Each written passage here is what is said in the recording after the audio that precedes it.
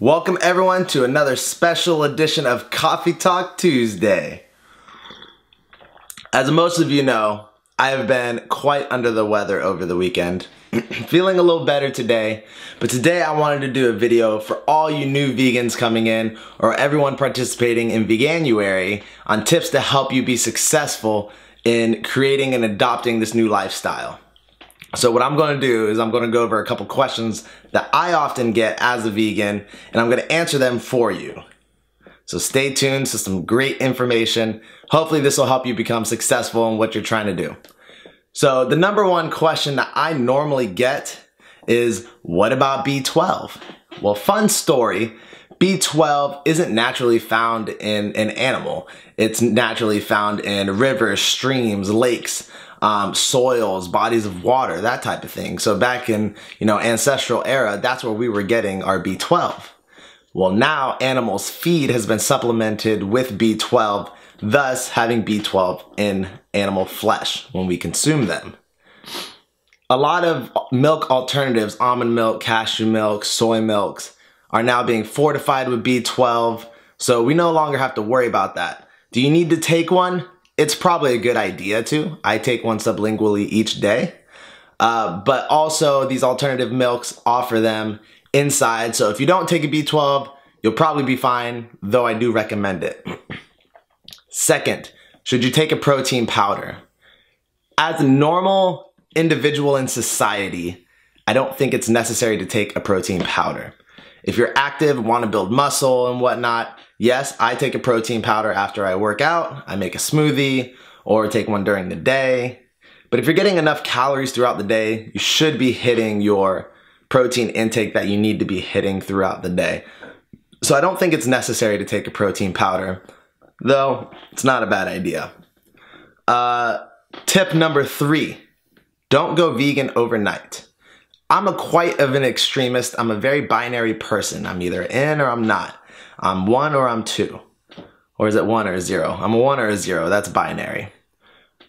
You're also another one I like to go off of. You're either pregnant or you're not. You're never half pregnant. So, don't go vegan overnight like I did. I went one day, I was like, I'm done. I don't want to do this anymore. Going vegan. I'm still, what, almost a year in, successful. Now, some people can't do that. Some people say it's easier to go vegetarian, slowly cut dairy, or cut out one type of meat, or have one vegan meal a day, uh, a couple vegan meals a week, stuff like that. So kind of space it out over time. There's no rush. Just ease your body into it. Don't shock yourself overnight. And yeah, just don't don't do what I did. Unless you're a very extreme person like I am, it probably won't be successful because the majority of people who do it that way do not remain vegan for very long. Number four, don't be afraid of carbs. This whole world is afraid of carbs. They're like, I'm gonna get fat from all these carbs. What do I do? Don't be afraid of them. Consume three, 400 grams of carbs a day, you're fine.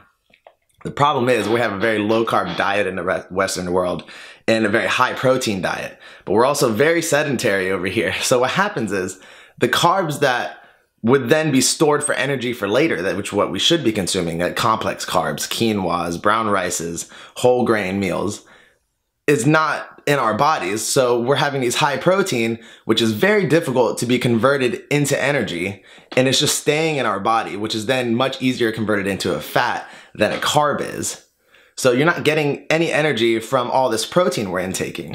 So don't be afraid of carbs. Make sure you're getting carbs from the right sources, not high starchy carbs, not white potatoes, stuff like that. Take in some sweet potatoes, like I said, whole grains. Do not be afraid of complex carbs. It's not going to your hips. Trust me. Last one, learn your ingredient labels. Now this is really important. Uh, it took me a long time to research this and to like understand what I'm reading in labels. Stuffs like carmine, whey, casein, things that don't seem, you know, like animal products, but they are if you don't know them. So milk is a whey, it's a casein, but without reading, you know, contains milk at the bottom, some probably like, oh, it doesn't say dairy, it doesn't say milk, it doesn't say, you know, lactose or whatever. So make sure you're reading labels, do your research on, I'm sure PETA has a bunch of stuff. There's a bunch of vegan YouTubers that have covered content on this, on how to read labels.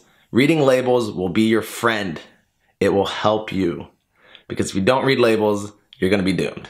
Now, always a fun fact or something I always do, when in doubt, don't eat it.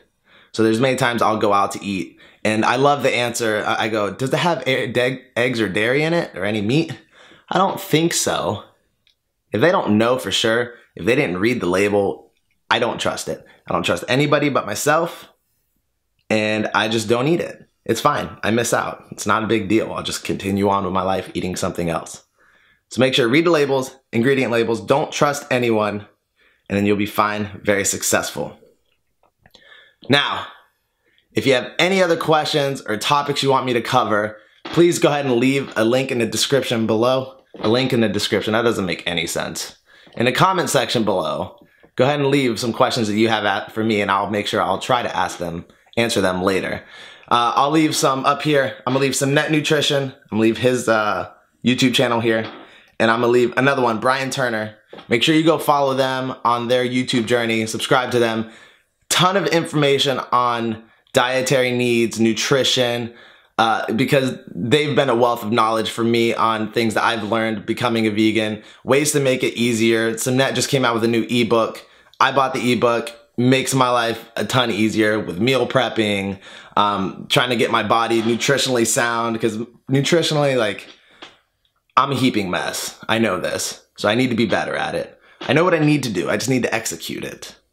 So go ahead and check their channels out. Make sure you give a like and subscribe to mine. Share it with your friends. Anyone becoming vegan or interested in, make sure you share this video to them. Maybe it can give them some tips on how to be successful in what they're trying to do. And, you know, embrace them in the community. Give them knowledge. Don't ridicule them. And build the community together. We're not brainwashed crazy people like everyone thinks we are. Until next time, have a great day. Peace.